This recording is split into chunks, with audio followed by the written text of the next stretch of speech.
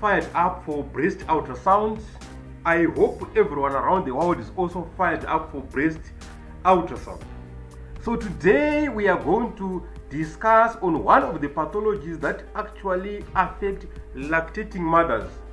What is the name of this condition? It is called a galactocele. So in this case presentation, this mother had multiple galactoceles.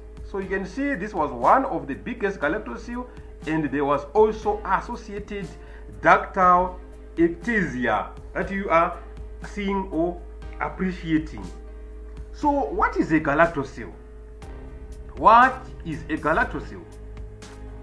A galactocele is a retention cyst caused by lactiferous duct occlusion. They feel like ordinary cysts, but they may contain milk instead of just clear fluid. While they can be uncomfortable, they are not dangerous. So, in actual fact, or in the clinical setup, percutaneous aspiration is used to diagnose this type of lesions. So, what we are seeing here is the lesion which I am referring to as my galactocele. So the patient was very normal.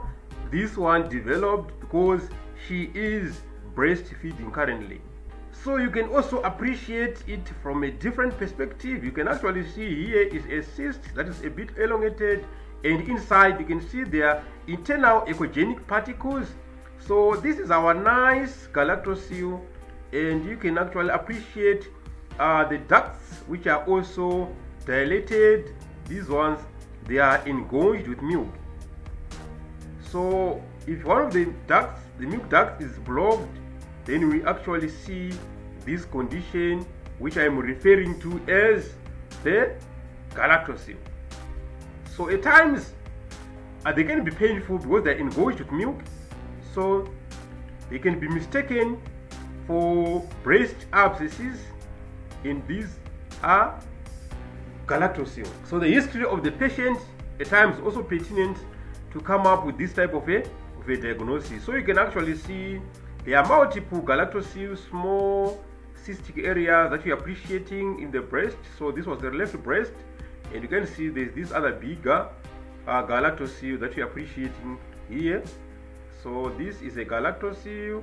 Uh, then we do have got uh, milk engorged ducts is you appreciating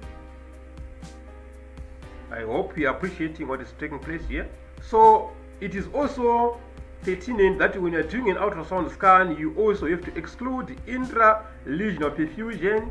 Uh, it could be blood vessels which are actually dilated. So to rule out that they are not blood vessels, we need uh, power Doppler interrogation or color Doppler interrogation. In this context, I used power Doppler and you can also appreciate that there was no perfusion here so these dilated ducts, they are without perfusion on Doppler. So you can also appreciate what is taking place here. Uh, this is a nice galactocele that you're appreciating that you're seeing here. Again, you can also appreciate that uh, our galactocele, you can see these internal nice internal echoes which are seeing here. So this is part of the milky that we have. So this is milky, this is milky. So if you're going to tape this percutaneously, you're going to see that it becomes a white substance which is actually milk. So at our department, uh, management of these are galactoceles. They actually drain this. Uh, they actually drain this uh, under ultrasound guidance.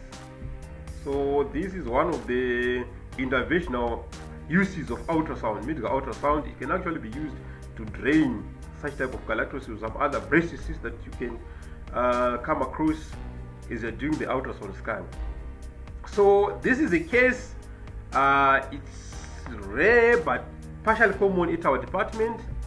So we, we time and again, we come across these uh, we are used to them.